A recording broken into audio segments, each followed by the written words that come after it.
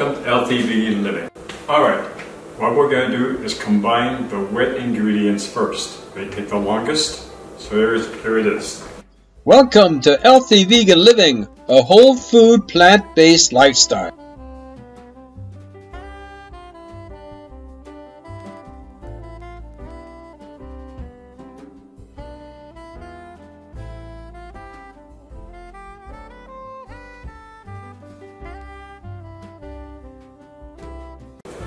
We're going to need three quarters of a cup of mashed, no skins, no pits, and no end of the, like where the leaf part goes, into a blender. You're going to pulverize this. Next, you're going to need, you saw this in part one, where I made a cup of brown sugar. This has got two tablespoons of molasses. You need two tablespoons of vegan butter. This is earth balanced, non-GMO vegan. You need two teaspoons of vanilla extract. I like to use McCormick, but I do use other brands. You also need half a cup of soy milk, full circle organic original soy milk. That is basically your wet ingredients. I'm to clean this up and I'll show you the dry ingredients next. All right, now what we're going to do next is we're going to assemble the dry ingredients. You need two cups of all-purpose flour. What I'm using is gold medallion. You need half a teaspoon of pink salt, one teaspoon of Spice Island pumpkin spice spice, and you can buy this at Sam's Club. One teaspoon baking soda. Three quarters of a cup of vegan chocolate. And that's it. That's, that's basically your dry ingredient. Now, normally this recipe fits these ramekins if they are 8 ounces. So we're going to be putting them in these 4 ounce containers. We'll have to see how it turns out. The next step we're going to do now is start combining. Get yourself a large bowl. You're going to add the following ingredients. Your persimmon, your persimmon pulp. Should take this thing out because otherwise it just kind of splatters. Your vegan brown sugar, your butter, here, your vanilla extract. You're going to combine this. Now that's combined, move this to the side. Probably that's the way it'll drip. Add the flour. Ah, I'm missing the baking soda. Turn on your oven.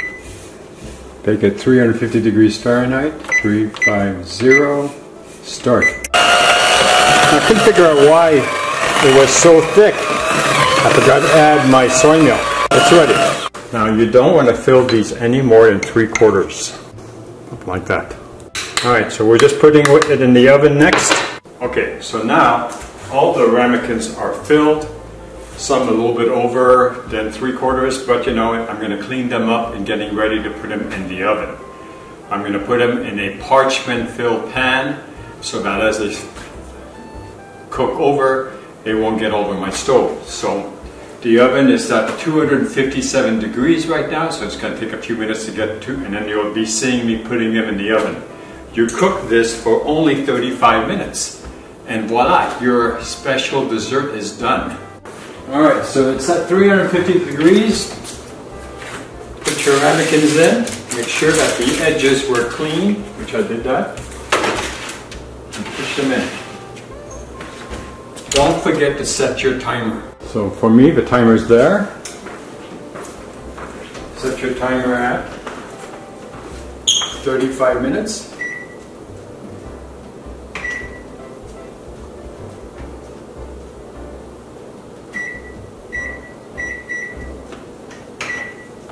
What we're going to do is we're going to use a toothpick or a fork or a knife, poke it in, and if, of course, if it comes out clean, it's ready to eat. They are going to be kind of cracked on the top, which is the purpose of the glaze. Alright, and we'll show you if this persimmon pudding worked out. You see how the tops are just nice and fluffy? That's what you want.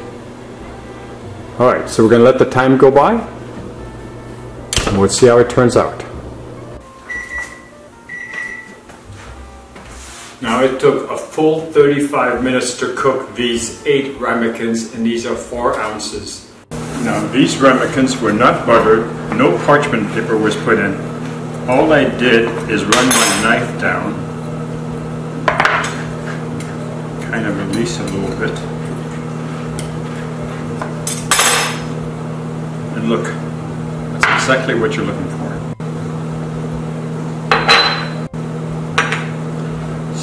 Same thing with these.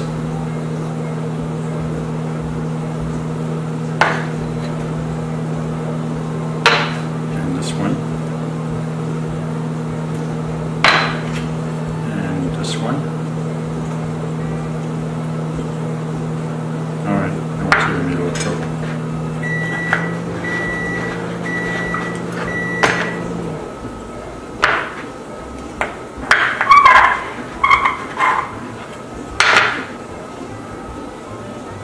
So these guys that I glazed ahead of time, I'm sure they're going to give me all kinds of trouble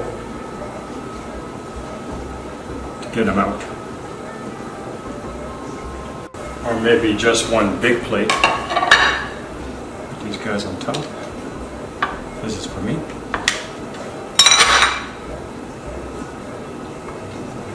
And then it's the same thing with the other ones. Course, they got that glaze on top now. That'll be a little.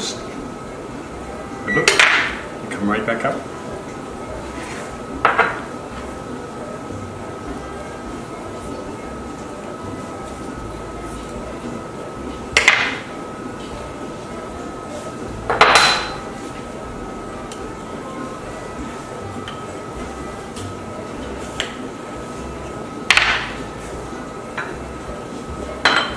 Messy coming out because I glazed ahead of time.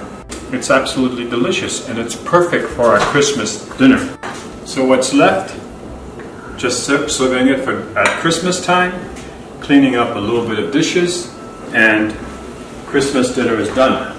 So I definitely recommend this recipe. And I did not butter or put any kind of parchment paper on the bottom. It came out just perfect. You could put all kinds of coconut cream on there if you wanted to, but I'm going to eat them just this way with my prepared glaze, which is just basically persimmon and brown sugar. If you like what you see, subscribe. And if you like this video, give us a thumbs up. Thank you for watching.